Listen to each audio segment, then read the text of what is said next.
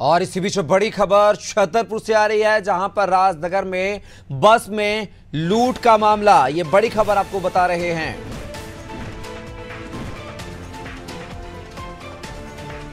ये खबर भोपाल से आपको बता रहे हैं, जहाँ पर छतरपुर के राजनगर में बस लूट का मामला है। बीजेपी प्रदेश अध्यक्ष वी शर्मा ने मामले में संज्ञान लिया है। छतरपुर एसपी ने पूरे घटनाक्रम के लिए रिपोर्ट, एसपी को मामले में कड़ी कार्रवाई करने के निर्देश दिए हैं। आरोपियों पर सख्त एक्शन लेकर करे कार्रवाई वी शर्मा के संसदीय क्षेत्र में आता है राजनगर।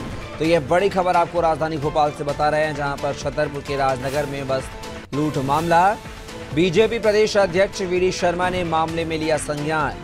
छतरपुर एसपी से पूरे घटनाक्रम की ली रिपोर्ट। एसपी को मामले में कड़ी कार्रवाई करने के निर्देश दिए हैं। आरोपियों पर सख्त एक्शन लेकर करें कार्रवाई पीडी शर्मा के संसदीय क्षेत्र में आता है राजनगर।